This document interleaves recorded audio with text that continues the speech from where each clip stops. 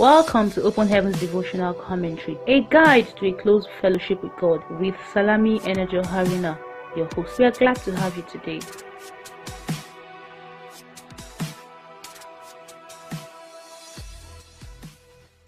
Hello, good morning. Thank you for joining us today again. Open Heavens is written by our Father in the Lord, Pastor E. A. Adeboye, General Overseer of the Redeemed Christian Church of God, and this commentary is intended to bring insights to God's Word by the help of the Holy Spirit. Today's date is Saturday, the 24th day of July 2021, and our topic for today is When Revival Comes, Part 2. Let us pray. Our friend, Savior, and Redeemer, we thank you that you never get tired of feeding us daily. We've come to receive your word today. We ask that you would grant us the grace to receive with meekness in the name of Jesus. Help us not to just be hearers, but to be doers of this word also. In Jesus' name we have prayed. Amen. Praise God. You're welcome back. Our memory verse for today is from the book of Psalm chapter 51 verse 10. Psalm 51 verse 10 reads, Create in me a clean heart, O God, and renew a right spirit within me. Psalm 51 verse 10. And our scripture reading for today is from the same book of Psalm 51. We'll be reading from verse 1 to 3 now. Psalm 51 verse 1 to 3 reads, Have mercy upon me, O God, according to thy loving kindness. According to the multitude of thy tender mercies, blot out my transgressions. Wash me thoroughly from my iniquity, and cleanse me from my sin. For I acknowledge my transgressions, and my sin is ever before me. God bless His word in Jesus' name. Amen. In our devotional today, our Father in the Lord says, Today I want you to take a self evaluation. Is there anything you have done that could land you in hell? Today is the day of repentance and restoration. A man of God once said, When genuine revival comes, everybody, including pastors, would have one or two things to repent of. Revival is not the working of miracles, it is an increased spiritual interest or renewal of a life of holiness in complete obedience to the Word of God. The first step towards experiencing a revival is to realize that one has sinned or fallen short of God's expectations, according to Romans 3 verse 23. Fervent prayers of repentance must therefore precede revival. In Psalm 51, we read of David praying fervently for revival and restoration after he had sinned against God. This is where many so called born again Christians, particularly those who consider themselves fairly old in the faith, often miss it. They are like that Pharisee who went to the temple to display his superiority over the publican in Luke chapter 18, verse 10 to 14. If you ever realize that you are falling short of God's approval and favor, put aside your ego and humble yourself before the one who can forgive and forget. The Bible says in 1 John 2, verse 1 to 2, my little children, these things write I unto you, that ye sin not. And if any man sin, we have an advocate with the Father, Jesus Christ the righteous. And he is the propitiation for our sins, and not for ours only, but also for the sins of the whole world. What the Lord is telling us in this scripture is that a child of God should be free of sin, according to 1 John chapter 3 verse 8 to 9, which says, He that committed sin is of the devil, for the devil sinned from the beginning. For this purpose, the Son of God was manifested, that he might destroy the works of the devil. Whosoever is born of God doth not commit sin, for his for his seed remaineth in him, and he cannot sin, because he is born of God. However, should anyone fall into sin, such a person must quickly cry to God in remorse for revival and restoration. The person must then have faith in the Word of God and the blood of Jesus Christ for cleansing. Plead the blood of Jesus over your life and make up your mind never to go back to sin. God bless His word to us today in Jesus' name. Amen. Praise the Lord. Yesterday we saw the topic When Revival Comes, Part 1, and God was gracious unto us. We saw that revival in Christianity refers to increased spiritual fervency or renewal in the congregation of believers.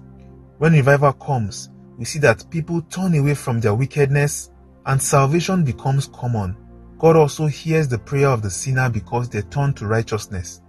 We also learned that revival does not only bring about spiritual restoration, it brings physical well being as well. In our devotional today, we see the part 2 of the topic, which is When Revival Comes, part 2. And in our devotional today, their Father and the Lord calls us to a genuine and sincere self-evaluation. We must drop all titles aside, all achievements, all thrones, all ego and pride, and ask ourselves genuinely if there are ways in our lives that do not please God, if there are things that we do that are not in line with His own desire, His will, and instructions to us. The devil is a trickster. No wonder our Father in the Lord tells us that this is one way where many so called born again Christians miss it. He likens them to the Pharisee who went to the temple and instead of asking for mercy, was acknowledging how righteous he thought he was. It is important to look inwards today to make assurance double sure that as Christians, we are not just doing activities, that as pastors, you are not just leading others in worship when you are far away from the throne room yourself, that we are not signboards pointing others to Christ when we ourselves are not there. Hebrews 12 verse 1 tells us, Wherefore seeing we also are compassed about with so great a cloud of witnesses, let us lay aside every weight and the sin which doth so easily beset us, and let us run with patience the race that is set before us. Emphasis on let us lay aside every weight and the sin which doth so easily beset us. I like how the Amplified Version puts it.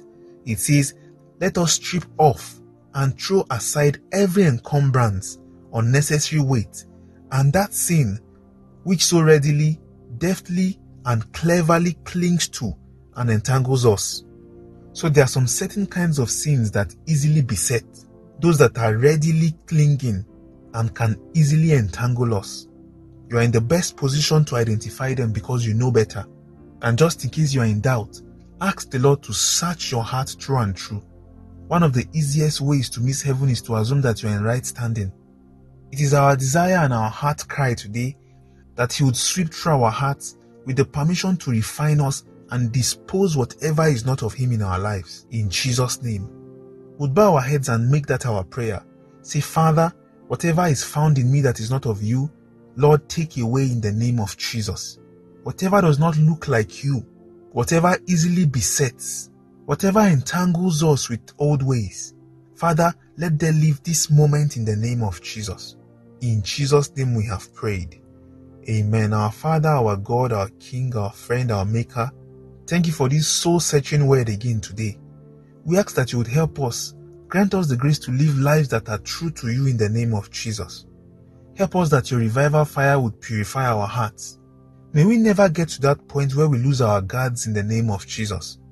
In the end, let our lives be changed, our world transformed, and let all glory return to you. In Jesus' mighty name we have prayed. Amen. Praise the Lord. We have an action point today and it says, check your life and see if there is anything you have done contrary to the word of God. Confess it to God and let Him restore you to your position as His child. Amen. Please do this intentionally, do a thorough search, and we trust Him that our lives will bring joy to His heart. In Jesus' name. Amen. In our Bible in one year reading plan for today, we read from the book of Psalms, chapter 72 to chapter 74. Praise God. Thank you for joining us today. We are glad and excited to have you. God bless you in Jesus' name.